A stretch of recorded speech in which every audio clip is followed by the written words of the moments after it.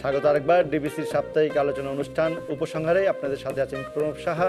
ফিরে এলাম উপসংহারে। এই বাংলাদেশের সাধারণ মানুষ ধর্মপ্রাণ, কিন্তু তাদের সংখ্যাগরিষ্ঠই মৌলবাদী নয়। কিন্তু তারপরেও নানাভাবে ধর্মকে অপব্যবহারের অপশক্তি দেশে সক্রিয় আছে। তাই অসাম্প্রদায়িক বাংলাদেশের মুক্তিযুদ্ধকালীন চেতনা ধরে রাখতে আমরা এবার বিষয় ঠিক করেছি রাজনীতিতে ধর্ম। বিষয়টি নিয়ে থাকবে। ধারাবাহিক আলোচনা আলোচনা শেষে আমরা পৌঁছতে চাই একটি উপসংহারে। আমাদের এই পর্বে আমাদের সঙ্গে আলোচনায় যুক্ত হয়েছেন শিক্ষাবিদ অধ্যাপক আবুল কাশেম ফজলুল হক। আপনাকে স্বাগত আমাদের এই অনুষ্ঠানে। আমরা আলোচনা করব আপনার সাথে। আমাদের সঙ্গে আরও যুক্ত হয়েছেন একাত্তরের ঘাতক দালা নির্মূল কমিটির ভারপ্রাপ্ত সভাপতি, গবেষক, লেখক সারের কবির। আপনাকে স্বাগত আমাদের এই অনুষ্ঠানে। আমরা আজকে এই আলোচনাটা শুরু করলাম যে রাজনীতিতে ধর্ম। নিশ্চয়ই রাজনীতিতে ধর্ম সবসময় অপব্যবহার হিসেবেই হয়েছে আমাদের এখানে যে আমাদের যে উদাহরণ।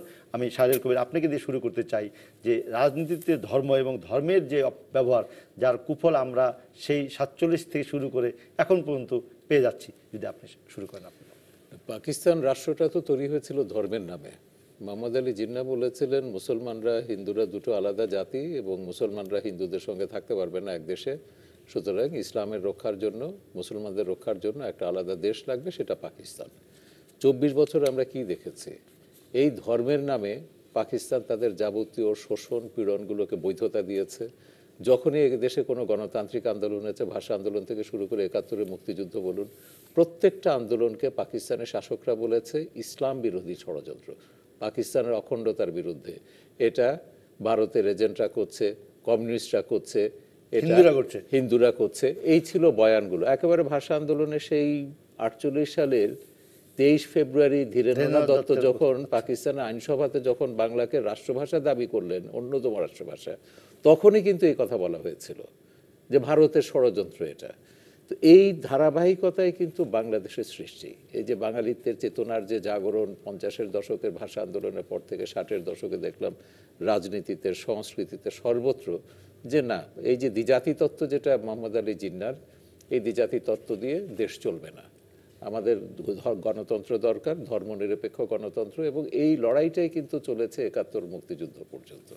মুক্তিযুদ্ধ আপনি দেখবেন বহুবার মুজিবনগর সরকার যারা ছিলেন মুক্তিযুদ্ধের নেতৃত্ব দিয়েছেন, বহুবার তারা বলেছেন বাংলাদেশ একটা ধর্মনিরপেক্ষ গণতন্ত্র হবে। এবং তারই প্রতিফলন আমরা দেখেছি বাহাত্তরের সংবিধানে। যেটাকে আমরা মুক্তিযুদ্ধের চেতনা বলি পরিষ্কারভাবে বলা হয়েছে চার মূলনীতিতে বাঙালি জাতীয়তাবাদ ধর্মনিরপেক্ষতা সমাজতন্ত্র গণতন্ত্র।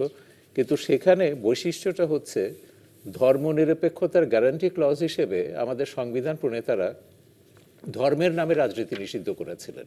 এইটা কিন্তু বাংলাদেশের সংবিধানকে একটা অনন্য মর্যাদা প্রদান করেছে যেটা সমাজতান্ত্রিক শিবিরের বাইরে কিন্তু কোথাও কোনো গণতন্ত্রের মধ্যে এটা নেই। এবং এটা কেন দরকার? এবং অনেকেই তখন প্রশ্ন করেছিলেন যে এ তো গণতান্ত্রিক অধিকার খরণ করা হচ্ছে। এর জবাবটা কিন্তু সেই আইন পরিষদের সভাতে গণপরিষদে বঙ্গবন্ধু চমৎকারভাবে দিয়েছেন। আমি দুটো লাইন আপনাকে পড়ে শোনাচ্ছি। যে তিনি বলছেন ধর্ম অতি পবিত্র জিনিস। পবিত্র ধর্মকে রাজনৈতিক হাতিয়ার হিসেবে ব্যবহার করা চলবে না। কেউ যদি বলে যে ধর্মীয় অধিকার খর্ব করা হয়েছে, আমি বলব ধর্মীয় অধিকার খর্ব করা হয়নি। সাড়ে সাত কোটি মানুষের ধর্মীয় অধিকার রক্ষা করবার ব্যবস্থা করেছি। কেউ যদি বলেন গণতান্ত্রিক মৌলিক অধিকার নাই, আমি বলব সাড়ে সাত কোটি মানুষের অধিকার প্রতিষ্ঠা করতে যদি গুটি কয়েক লোকের অধিকার হরণ করতে হয়, তাই করতে হবে। এখন এই গুটি কয়েক লোক কারা ছিল? যারা ধর্মের নামে রাজনীতি করেছে পাকিস্তান এনেছে এবং যারা চেয়েছে জামাত থাকবে মুসলিম লীগ থাকবে নিজামী ইসলাম থাকবে যারা একাত্তরের মানে গণহত্যাকে ধর্মের নামে বৈধতা দিয়েছে করেছে। হ্যাঁ শুধু বিরোধিতা না এরা যাবতীয় মানবতা বিরোধী অপরাধকে বৈধতা দিয়েছে ইসলামের দোহাই দিয়ে এই কারণেই এই গণহত্যার পুনরাবৃত্তি যাতে না হয় মানবতার বিরুদ্ধে অপরাধের পুনরাবৃত্তি যাতে না হয় গণতন্ত্র যাতে নিরাপদ থাকে এবং ধর্মের পবিত্রতা যাতে রক্ষা করা যায় সেই জন্য ধর্মের নামে রাজনীতি নিষিদ্ধ হয়েছিল। এবং জেনারেল জিয়া এবং জেনারেল এরশাদ সম্পূর্ণ রাজনৈতিক মতলবে এগুলো সংবিধান থেকে বাদ দিয়ে রাষ্ট্রধর্ম ইসলাম করেছেন মাথার উপর বিসমিল্লা লাগিয়েছেন এর সঙ্গে ধর্মপ্রীতির কোনো সম্পর্ক এবং সেটা বঙ্গবন্ধু হত্যা করার পর। সম্পূর্ণটা আছে, হ্যাঁ হত্যার পরই হয়েছে এবং বঙ্গবন্ধুকে হত্যা না করলে এটা সম্ভব হতো না। কিন্তু দুর্ভাগ্যের বিষয় হচ্ছে আমাদের পঞ্চদশ সংশোধনীর পর আমরা চার মূলনীতি ফিরে পেলাম এখনও জিয়া এরশাদের কতগুলো মোহর সংবিধানের গায়ে লেগে আছে? পাকিস্তানি মোহর বিসমিল্লা আছে, ওখানে রাষ্ট্রধর্ম, ইসলাম আছে। তো এটা তো হচ্ছে, এখন সংবিধানটা কি দাঁড়িয়েছে? ওই সুকুমার রায়ের কবিতা যেমন আছে না হাঁসজারু আর বকচ্ছপ, ওরকম হাঁসজারু বকচ্ছপ, একটা বক আর কচ্ছপ দুটোই আছে। বাংলাদেশও আছে, পাকিস্তানও আছে। শক্তি চাটুর্যের কবিতা আছে না ধর্মেও আছে, জিরাফেও আছে। তো সেরকম একটা অদ্ভুত পরিস্থিতির মধ্যে আমরা বাস করছি। এবং আপনারা দেখেছেন, প্রধানমন্ত্রী কালকেও বলেছেন ধর্মকে যখনই আপনি রাজনীতিতে আনবেন একাত্তরের গণহত্যা থেকে সর্বশেষ হোলি হোলি আর্টিজান। এবং ফজলু ভাই আমাদের শিক্ষক এবং তিনি তো তিনি নিজে দেখেছেন। তার সন্তান সহ এই যে ব্লগারদের যে হত্যা করা হলো এদের ধর্মের নামেই কিন্তু হত্যা করা হয়েছে। দীপন তো একজন ধর্মে বিশ্বাসী ছিল কেন তাকে হত্যা করতে হবে? ওই যে মধুদিবাদ যে বলে দিয়েছে আমার জগতে আমাদের জগতে মানে জামাতের জগতে ভিন্ন মত ভিন্ন ধর্ম ভিন্ন জীবনধারার কোনো অবস্থা জায়গা থাকতে পারবে না। তাদেরকে নিকেশ করতে নিশ্চিত হবে, হত্যা করতে নিশ্চিহ্ন করতে হবে। এইটা যদি রাখেন ধর্মের নামে রাজনীতি থাকলে আপনাকে হোলি আর্টিজানের ঘটনা পুনরাবৃত্তি হবে দীপনরা বারবার নিহত হবে এবং বাংলাদেশে একাত্তরে গণহত্যার পুনরাবৃত্তি হবে। আবুল স্যার আপনি যদি বলেন। ধন্যবাদ। রাজনীতিতে ধর্ম এটা আজকের বাংলাদেশের বাস্তবতায় এবং বিশ্ব বাস্তবতায় বলা যায় সবচেয়ে গুরুত্বপূর্ণ প্রশ্ন। যদি রাজনীতিকে সুস্থতা এবং স্বাভাবিকতার দিকে নিতে হয়, তাহলে ধর্মকে কেন্দ্র করে যে বিতর্ক আজ বাংলাদেশে চলছে এবং বাইরের জগতেও নানা স্থানে, তার একটা মীমাংসা দরকার। এই নিয়ে পাশ্চাত্য জগতেও অনেক গবেষণা হয়েছে, আমাদের দেশেও অনেক গবেষণা হয়েছে। প্রথমেই আমি একটা কথা বলব, চলতি উত্তেজনা এবং স্বার্থের যে সংঘাত চলছে দলের সঙ্গে দলের মানে নানা জনের সঙ্গে নানা জনের এইগুলোর ভেতরে থেকে আমরা কোনো উপযুক্ত সমাধান পাবো না। যে সমাধানই করা হোক না কেন ওটা বাস্তবায়িত করতে গেলে বাস্তবায়ন করা যাবে না অথবা এমনভাবে বাস্তবায়িত হবে যে তাতে প্রতিহিংসা জাগবে এবং আমরা যে হিংসা প্রতিহিংসা থেকে মুক্ত হতে চাই শান্তিপূর্ণ স্বাভাবিক অবস্থাতে যেতে চাই এটা বিঘ্নিত হবে। আমাদের দেখা দরকার কি কারণে ধর্ম পুনরুজ্জীবিত হলো আমাদের দেশে, অন্যান্য দেশেও। আমরা বিশেষভাবে আমাদের আমাদের দেশের কথা আলোচনা করি। সেই জায়গায় একটা কথা প্রথমেই বলতে চাই। ঢাকা বিশ্ববিদ্যালয়ে প্রতিষ্ঠিত হওয়ার পরেই মুসলিম সাহিত্য সমাজ নামে একটা অর্গানাইজেশন এখানে গড়ে ওঠে এবং তারা বুদ্ধির মুক্তি আন্দোলন বলে একটা আন্দোলন পরিচালনা করে।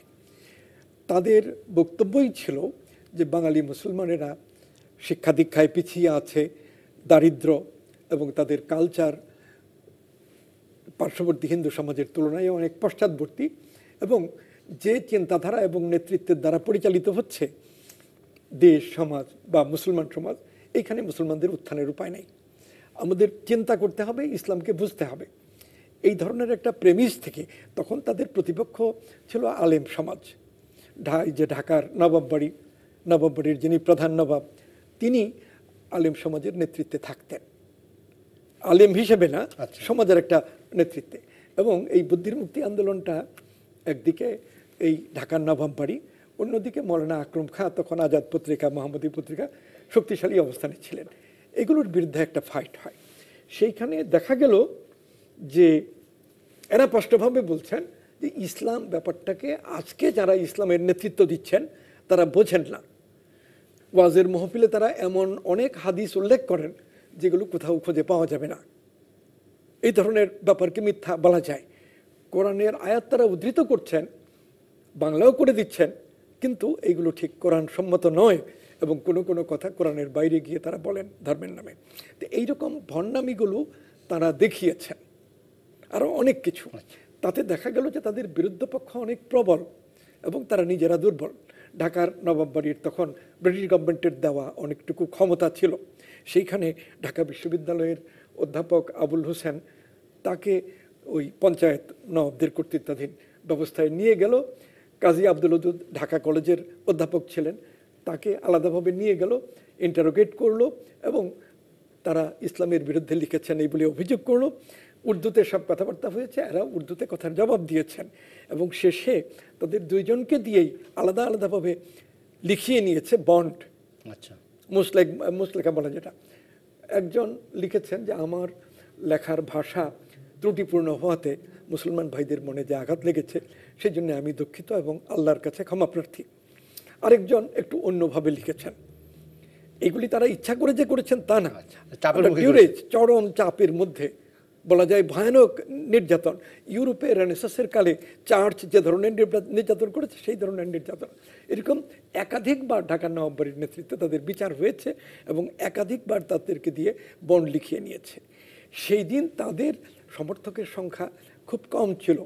শিক্ষিত লোকদের মধ্যে কিছু বৃহত্তর শিক্ষিত সমাজেও না। কিন্তু ক্রমে দেখা গেল, তাদের সমর্থক বেড়েছে এবং লোকে সত্যি সত্যি ইসলামকে বুঝতে চেয়েছেন। প্রশ্ন উঠছে, ইসলাম যে বিষয়গুলোকে ফরজ বলে, সেই ফরজগুলো কি আজকের বাংলাদেশে মান্য করা উচিত? তারা যুক্তিতর্ক দিয়ে দেখিয়েছেন যে চোদ্দোশো বছর আগের আরবের জন্য এই বিধানগুলো ভালো ছিল। কিন্তু চোদ্দোশো বছরের ব্যবধানে বাংলাদেশের যে বাস্তবতা, তাতে এই বিধানগুলো অকার্যকর।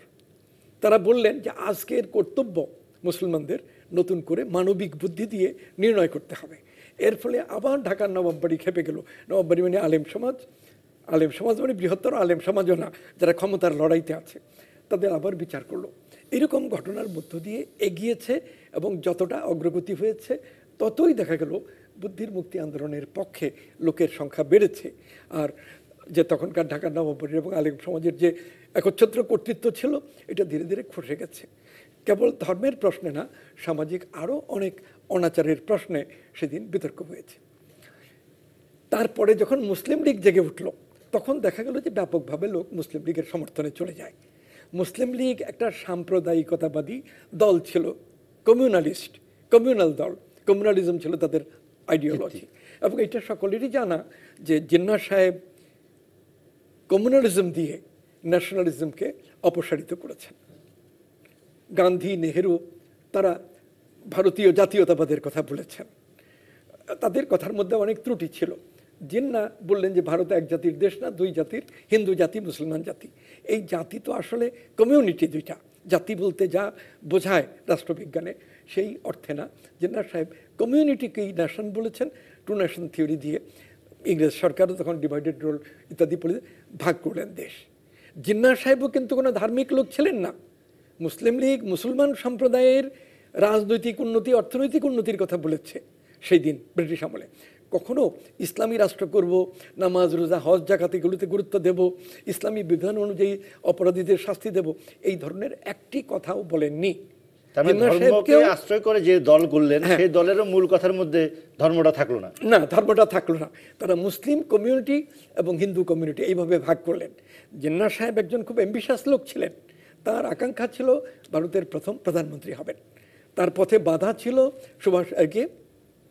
জওহরলাল নেহরু। কাজেই এইখানে যে পাওয়ার স্ট্রাগল এইটাই ধীরে ধীরে ঘনীভূত হয়েছে এবং শেষ পর্যন্ত ভারত ভাগ করে ইয়ে জিন্না পাকিস্তানের গভর্নর জেনারেল হলেন রাষ্ট্রপ্রধান ভারত ভাগ করে নেহরু এবং ভারতের প্রধান এই যে ব্যাপারটা এখানে কমিউনালিজম এবং রিলিজিয়ানকে আলাদা করে দেখতে হবে। ধর্মের নাম ব্যবহার করে মানুষকে প্রতারণা করা, একটা জাতিকে প্রতারণা করা, ক্ষমতা লিপসা চরিতার্থ করা এবং ক্ষমতায় আসার পরে নানান রকম দুর্নীতির মাধ্যমে অবস্থান এইরকম একটা ব্যাপার ছিল পাকিস্তান এবং ঐতিহাসিক ঘটনাটা যেমন ছিল, সেইভাবে দেখতে হবে। বাংলার রাজনীতিতে অবস্থাটা একটু ভিন্ন ছিল সমগ্র ভারতের চেয়ে বাংলায় মুসলিম পপুলেশন ছিল শতকরা ছাপ্পান্ন ভাগ। আর নন মুসলিম প্রধানত হিন্দু এবং বৌদ্ধ খ্রিস্টান ইত্যাদি আছে তাদের পার্সেন্টেজ ছিল ফোরটি সাতচল্লিশের দিকে? সাতচল্লিশের আগে চল্লিশের দশকে। এবং সেই আমরা অবস্থায় আমরা এই- আলোচনাটা করব একটু বিরতির পর। হ্যাঁ। ফিরে আসব বিরতির পর। আমাদের সঙ্গে আছেন শাহরিয়ার কবির এবং আবুল কাসিম ফজল থাকুন আমাদের সঙ্গেই।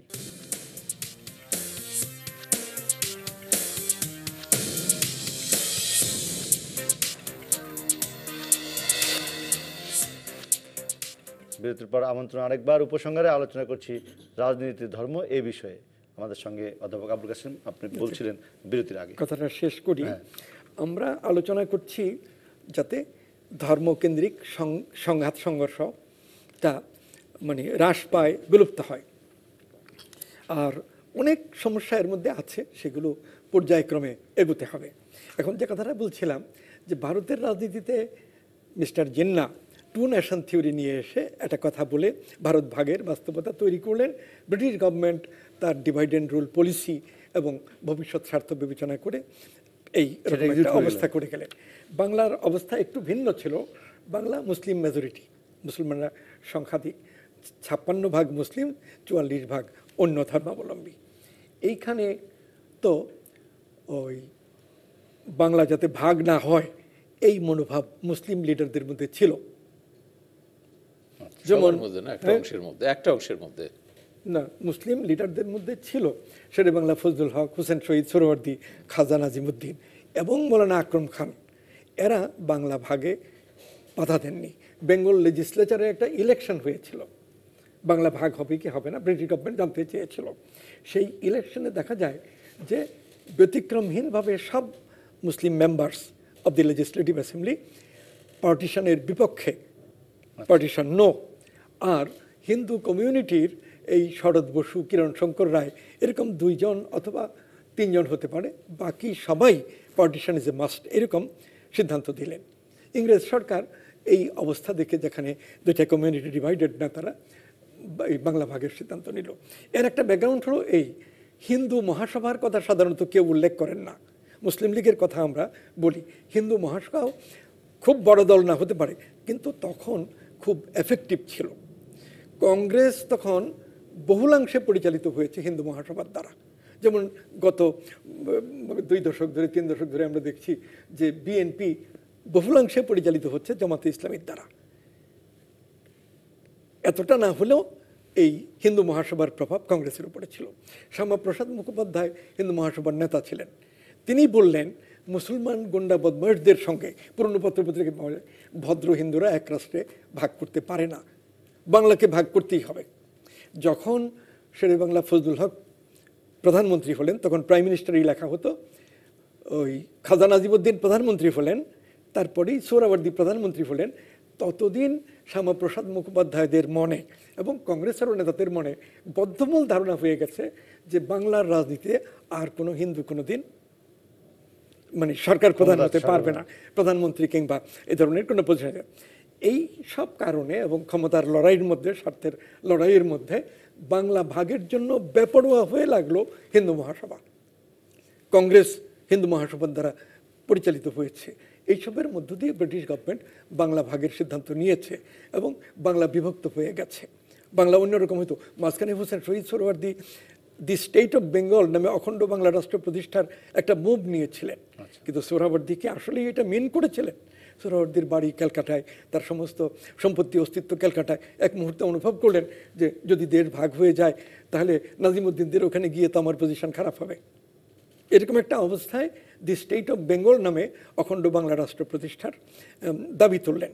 তখন ভারত এক রাষ্ট্র হিসেবে স্বাধীন হবে না অনেক রাষ্ট্র হিসেবে স্বাধীন হবে? এরকম প্রশ্নও লেখালেখির মধ্যে ছিল। তো সুহরাবর্দী যদি আসলেই মিন করতেন বাংলা রাষ্ট্র, তাহলে সবার আগে তার যাওয়া উচিত ছিল ফজল হকের কাছে। তার যাওয়া উচিত ছিল খাজা নাজিমুদ্দিনের কাছে, মৌলানা আকরম খার কাছে। আসুন বাঙালির স্বার্থে আমরা সবাই এক হই। তাহলে তাদের শক্তি হতো। কিন্তু সোহরাবর্দী একা ওই আবুল হাসিম সাহেব ছিলেন, কিরণ শঙ্কর রায় ছিলেন, আরও কিছু হিন্দু মুসলিম নেতা ছিলেন। একা যখন এগিয়েছেন, এখানে শেরে বাংলা নাই, অনেকেই নাই। তখন এই আন্দোলন বিশেষ গুরুত্ব পায়নি।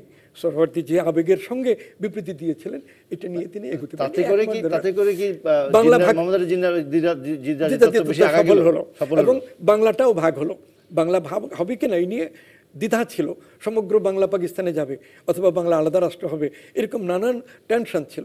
এর মধ্যে এই শ্যামাপ্রসাদ মুখোপাধ্যায়ের যে ভূমিকা সেইটা নিয়ে গেল ওই দিকে এখন যে কথাটা বলছি যে পাকিস্তান প্রতিষ্ঠার পরে কিন্তু মুসলমান বিরুদ্ধ শেষ হয়ে যাওয়া উচিত ছিল। ধর্মের ব্যবহার রাজনীতিতে এটা থাকা উচিত ছিল না। জিন্না সাহেব সেইভাবেই পাকিস্তানের গণপরিষদের প্রথম অধিবেশনে বক্তৃতা দিয়েছিলেন। তার বক্তৃতায় স্পষ্ট ছিল যে আজ থেকে আমরা সকলেই পাকিস্তানি। আমরা হিন্দু, আমরা মুসলমান, আমরা বৌদ্ধ, আমরা খ্রিস্টান, আমরা পাঞ্জাবি, আমরা বাঙালি, আমরা সিন্ধি, আমরা বালুচ, এই সব কিছু আমরা ভুলে যাব। আমরা পাকিস্তানটাকে একটা রাষ্ট্র হিসেবে গড়ে তুলব। অনেকেই উল্লেখ করেছেন যে জিন্না সাহেবের বক্তৃতা তো অত্যন্ত সেগুলার বক্তব্য। এক্সামিন করতে গেলে সেরকমই মনে হবে। কিন্তু সেই জিন্না সাহেব ও রাষ্ট্রভাষার প্রশ্নে নানান প্রশ্নে যে ধর্মনিরপেক্ষতার দিকে যাত্রা এবং এটা করলেন না। আর মারা গেলেন তিনি অল্প দিনেই। এরপরে যারা আসলেন তারা তো জেনার সাহেবের মতো ব্যক্তিত্ব সম্পন্ন আমি কবির আপনার কাছে যাব যে আপনি যেটি বললেন যে জিন্না সাহেবের ওই বক্তৃতার কথা যিনি আহ, ফজলুল স্যার বললেন একই সঙ্গে কিন্তু আপনি আবার উদ্ধৃত করছেন বঙ্গবন্ধুর বক্তৃতা। যিনি ওই পাকিস্তানের ওই লেগেসি দিয়ে এসে ধর্মনিরপেক্ষতার দিকে যাত্রা শুরু করে দেশকে স্বাধীন করে এই বাহাত্তরে সংবিধান করলেন আপনি সেটি উদ্ধৃত করে বলছিলেন। না জিন্নার ব্যাপারটা জিন্নার তার রাজনীতি তো শুরু করেছেন কংগ্রেস থেকে।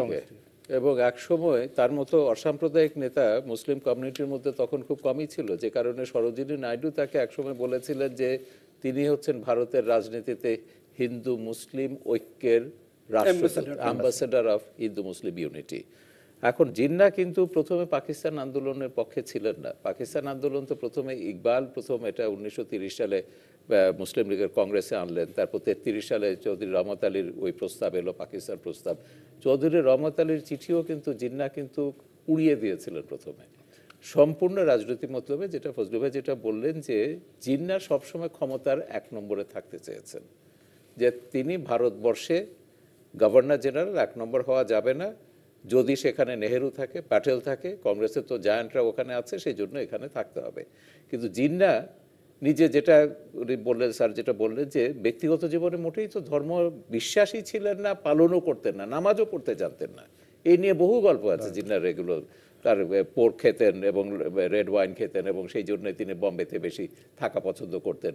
করাচিতে মাত্র পাকিস্তান মানে যেটা ভাগ হলো একটা মাত্র বাড়ি জিন্নার সমস্ত সম্পত্তি কিন্তু যখন লাহোরে আপনার এই ইয়ে হচ্ছে পাকিস্তান প্রস্তাব হচ্ছে চল্লিশ সালে ইকবাল আহমেদের লেখায় পড়েছি একচল্লিশ সাল থেকে সাতচল্লিশ পার পর্যন্ত করাচির বাড়িটা ছাড়া জিন্না পাকিস্তানে কোনো সম্পত্তি করেনি। সব সম্পত্তি কিন্তু কিনেছেন বম্বেতে। তিনি ধরে নিয়েছেন তিনি ওখানে থাকবেন। তিনি ধর্মকে রাজনীতি কিন্তু না করেছেন এবং ওইটা এগারোই আগস্টের যে বক্তৃতা এখানে কিন্তু ধর্ম নিরপেক্ষতা মানে সেকুলারিজম শব্দটা না বলে পাকিস্তান রাষ্ট্রের যে স্বপ্নটা সেটা তিনি সেকুলার রাষ্ট্র হিসেবে কনসিভ করলেন। তাকে তার মৃত্যুর পরে অনেকে বলে তাকে স্লো পয়জনিং করে মারা হয়েছে। মুসলিম লীগের নেতারা, রক্ষণশীল নেতারা এবং এইখানে মদুদি একটা বিরাট ভূমিকা পালন করেছে, জামাতের প্রতিষ্ঠাতা। এবং মদুদি আমার ছবি তো মদুদি ছেলে বলেছে, তিনি মদুদি সবসময় বলতেন, পার্টিশনের পরে, পাকিস্তান হওয়ার পরে, আরে পাকিস্তান তো এনেছি, আমি ইকবাল আর জিন্না মিলে অথচ এই মদুদি কিন্তু একচল্লিশ সাল থেকে সাতচল্লিশ বার পর্যন্ত এটাকে না পাকিস্তান আন্দোলন বলেছেন এবং জিন্নাকে টিটকেরি মেরেছেন বলে যে লোক নিজের ছয় ফুট শরীরের মধ্যে ইসলাম কায়েম করতে পারেনি উনি তো স্যুট পড়তেন বলে সে দেশের মধ্যে কি করে ইসলাম কায়েম আমি যদি আমার একটি তথ্য সংশোধন করে দেন বা ঠিক করে দেন যে যখন সিলেট কোন দিকে থাকবে যে গণভোট সেখানে জামাত ইসলামী হিন্দ তারা ভারতের পক্ষে রাখার জন্য সিলেটে গণভোটে ওই ওই পক্ষে প্রচার করেছে। মুসলিম লীগ সিলেট বলেছে এবং- সিলেটের দিকে থাকবে। সিলেট এবং খুলনা নিয়েই তো গণভোট তো সেখানে মুসলিম লীগ ডেফিনেটলি এখানে চেয়েছে তারা পাকিস্তানের করেছে তখন। হ্যাঁ কিন্তু জামাত ইসলামী হিন্দ কিন্তু তখন যেটা আমরা দেখতে পাচ্ছি তারা কিন্তু ওই ইসেটা যেটা হচ্ছে পার্টিশন আমি আগেই বলেছি যে মদুদি কিন্তু প্রথমে পার্টিশনের বিরুদ্ধে ছিলেন। মদুদি পার্টিশনের পক্ষে এসছেন পার্টিশনের পরে। এবং পরে। পাকিস্তানের হওয়ার পরে তিনি হলেন এবং উনিশশো উনপঞ্চাশ সালে যে অবজেক্টিভ রেজলিউশন যেটা পাকিস্তানে নেওয়া হলো, যেখানে পরিষ্কার বলা হলো যে Pakistan will be Islamic republic এবং শরিয়া আইন হবে, ইসলামী হুকুমত তারা এই শব্দটা ব্যবহার করেছে। সে অবজেক্টিভ রেজলিউশনে সেখানে মদুদির প্রধান ভূমিকা ছিল মদুদি এবং তারপর তো বাহান্ন সালে কাদিয়ানি দাঙ্গা ঘটিয়ে মুনির কমিশনের রিপোর্ট আছে। কীভাবে পাকিস্তান ওই যে ছাপ্পান্ন সালে তো পাকিস্তান ইসলামিক রিপাবলিক হিসেবে ঘোষণা করা হলো। তো এই যে পাকিস্তান, আমরা তো দেখেছি পাকিস্তান আজকে কোথায়? পৃথিবীর সবচেয়ে ব্যর্থ রাষ্ট্র পাকিস্তান। পাকিস্তানি স্কলাররা বলছেন যে পাকিস্তান আজকে মৌলবাদ, সাম্প্রদায়িকতার স্বর্গরাজ্যে পরিণত হয়েছে।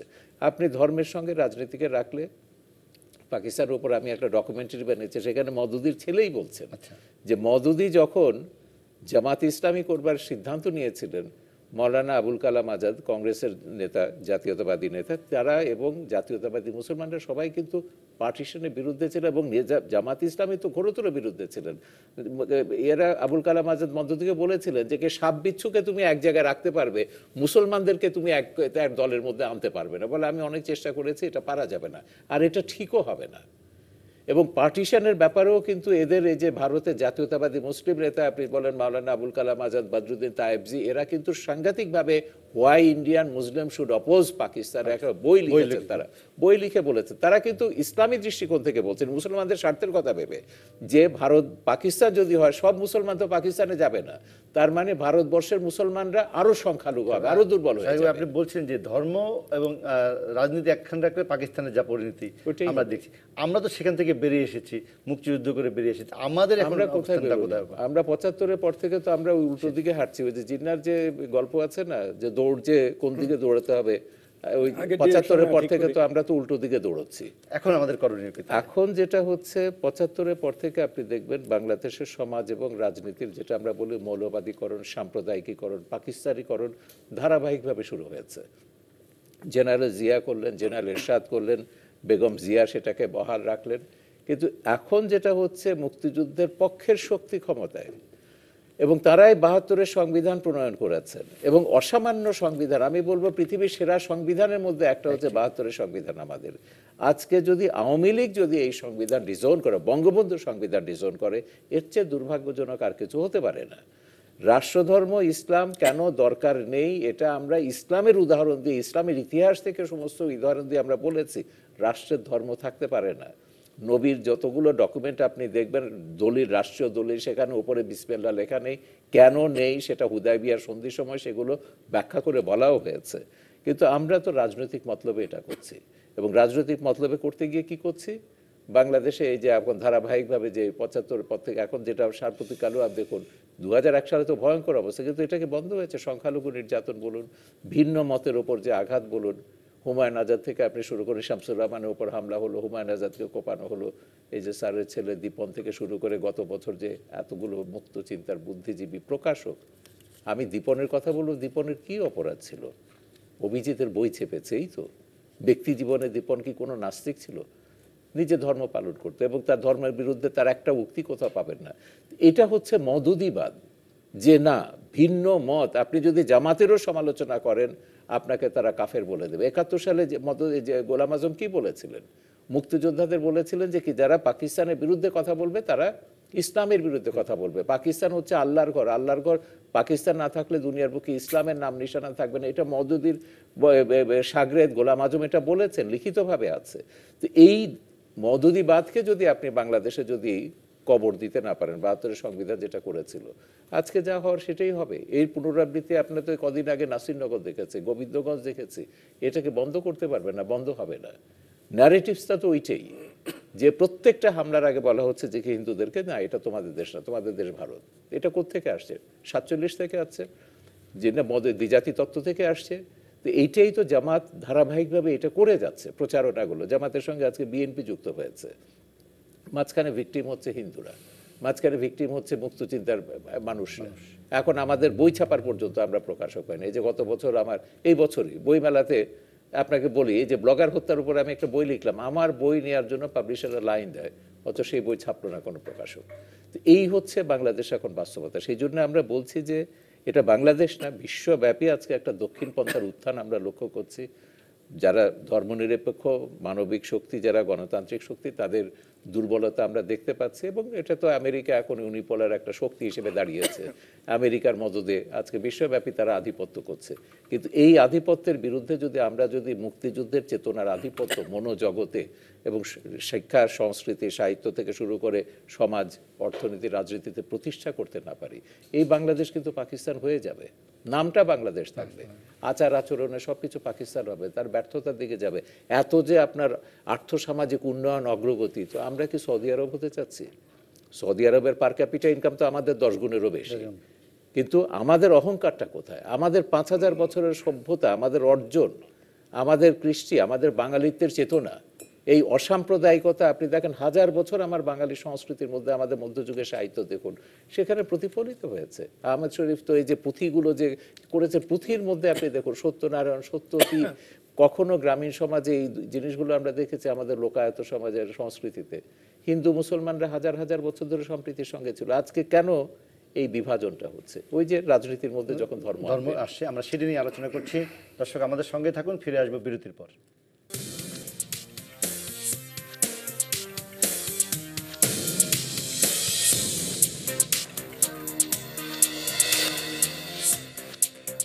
বিরতির পর আবারও স্বাগত উপসংহারে। আমরা কথা বলছি রাজনীতি ধর্ম এই বিষয়ে। আমি অধ্যক্ষ আপনাকে বললাম যেটি শারীরিক কবির বললেন যে আচ্ছা। রাজনীতি আর ধর্ম যদি আলাদা না করেন রাজনীতি আর ধর্ম যে কোনো খোলসে যদি আপনি একসাথে রাখেন তার বিপদটা কোথায় গিয়ে দাঁড়াবে? তার বিপদটা আমরা দেখছি। সেটি সেটি আলোচনা। ধর্মকে রাজনীতি থেকে আলাদা করতে হবে এবং গণতন্ত্র সমাজতন্ত্র যে আদর্শই আমরা বলি না কেন অনেক আদর্শ একসাথে অ্যামালগামেট করলে বিশৃঙ্খলা হয়। আমরা গণতন্ত্র বললে গণতন্ত্রকে রিডিফাইন করে গণতান্ত্রিক রাষ্ট্ররূপে বাংলাদেশকে গঠন করব। তার মধ্যে ধর্ম কীভাবে থাকবে ইত্যাদি বিষয়ের মীমাংসা হবে। আলাদাভাবে ধর্মের হেডে না গণতন্ত্রের মধ্যে বিভিন্ন ধর্মের লোক রাষ্ট্রে অন্য নাগরিকদের মতো সমান অধিকার নিয়ে বসবাস করবে। এই জিনিসগুলো মানবাধিকার হিসেবে গ্যারান্টি দিতে হবে। যাই হোক যে কথাটা আমি বলে আসছিলাম যে বুদ্ধির মুক্তি আন্দোলনটা চাপা পড়ল মুসলিম লীগের রাইজে উনিশশো চল্লিশ সন থেকে পরবর্তী। কিন্তু পাকিস্তান হয়ে যাওয়ার পরেই তো আর মুসলিম লীগের কোনো চার্ন রইল না। স্ট্রং সাপোর্ট ছিল। এই যে বঙ্গবন্ধুর অসমাপ্ত আত্মজীবনী, তাতেও এইসব বিবরণ আছে ভালোভাবেই।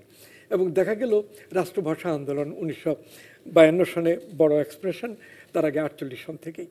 এই গোটা প্রক্রিয়াটাই লক্ষ্য করে দেখা যাবে যে অগাস্ট মাসে মানে পাকিস্তান হলো, সেপ্টেম্বর মাস থেকেই অন্যরকম চিন্তা আরম্ভ হলো।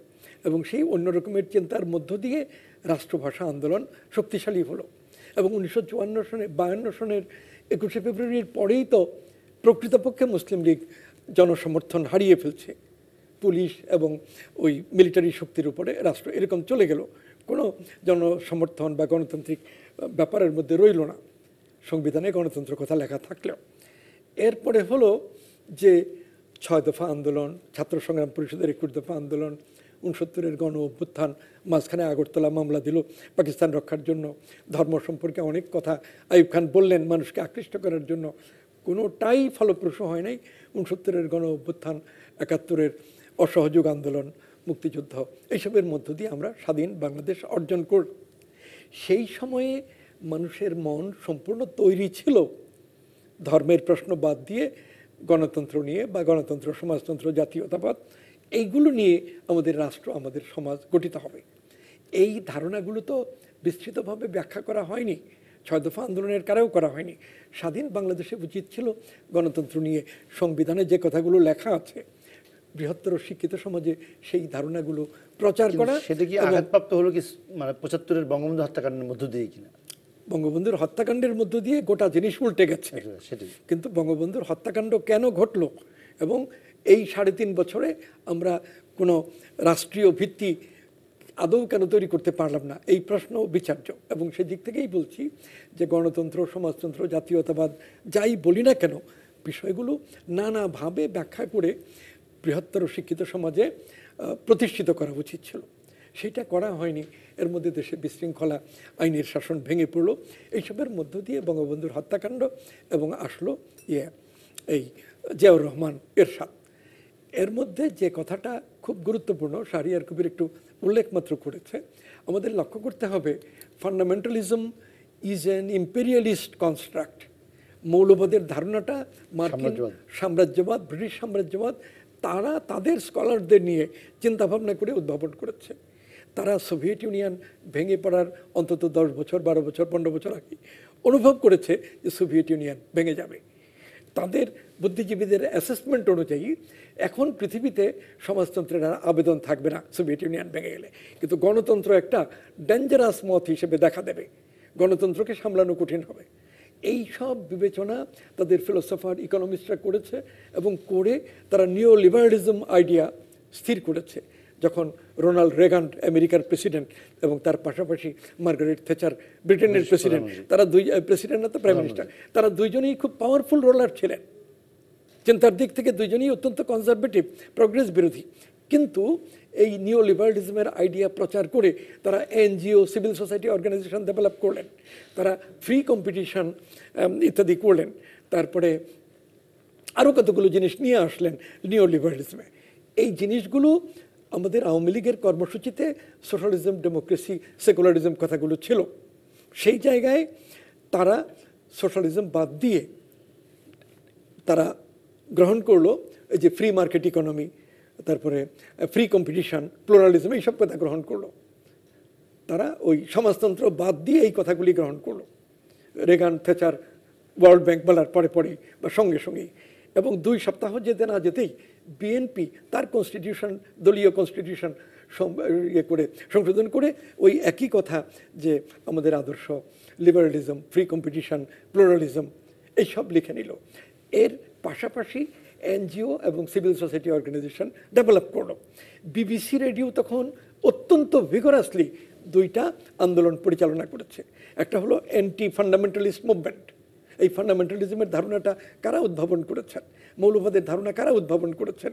যদি আমরা অনুসন্ধান করি, আমরা পাই ইঙ্গো মার্কিন শক্তি এবং প্রধান মানে প্রচার মাধ্যম BBC radio, BBC television, Sky News আরও কী কী তারপরে সিএনএন, ভয়েস অফ আমেরিকা। এরা ভয়েস অফ আমেরিকা একটু ডিটাচ থেকে কাজ করতো, কিন্তু এগুলো অ্যান্টি ফান্ডামেন্টালিস্ট মুভমেন্টে ভিগরাসলি লেগে গেল। আমাদের দেশে আমাদের বামপন্থী বন্ধুরা একেবারে লুফে নিলেন অ্যান্টি ফান্ডামেন্টালিস্ট মুভমেন্ট আমি বলি কথাগুলো যে বদরুদ্দিন ওমরের মতো লোক। আমাদের আরও বন্ধুবান্ধব যাদের সঙ্গে আমরা একসঙ্গে কাজ করেছি, তারা ভিগরাসলি অ্যান্টি ফান্ডামেন্টালিস্ট মুভমেন্টে লেগে গেলেন। একটা সময়ে গিয়ে বোঝা উচিত ছিল যে, মৌলবাদ বিরোধী আন্দোলন আমরা যত করছি, সাধারণ মানুষের ধর্মবোধ তত আঘাতপ্রাপ্ত হচ্ছে। এই তবলিক জমাত, সুফি সম্মেলন, এগুলো গ্রো করছে, আকার বড় থেকে আরও বড় হচ্ছে। এই দাড়ি, টুপি, বোরখা, হেজাব, এগুলো ব্যাপকভাবে আসছে। এবং সেক্রেটারিয়েটে গেলে দেখা যায় যে একজন এডিশনাল সেক্রেটারি জয়েন্ট সেক্রেটারি বোরখা হেজাবদারি আছেন। হাইকোর্ট সুপ্রিম কোর্টে গেলে দেখা যায় যে বিচারকদের মধ্যে কেউ কেউ আছেন অ্যাডভোকেটদের মধ্যে কেউ কেউ আছেন। বিশ্ববিদ্যালয়ের শিক্ষক শারিয়ার কবির বলছিলেন যে আমরা যখন পড়তাম তখন তো ভাবতেও পারতাম না। আমি যদি আপনি উল্টে গেছে। হ্যাঁ। এই যে সুশীল সমাজের আন্দোলনের কারণে এটা ফিরে আসলো আমি বলছি যে এটা যে সাম্রাজ্যবাদী একটা পরিকল্পনা দুনিয়াব্যাপী ধর্মকে তারা জাগাতে চাইছে সেই পরিকল্পনার মধ্যে আমরা পড়ে গেলাম।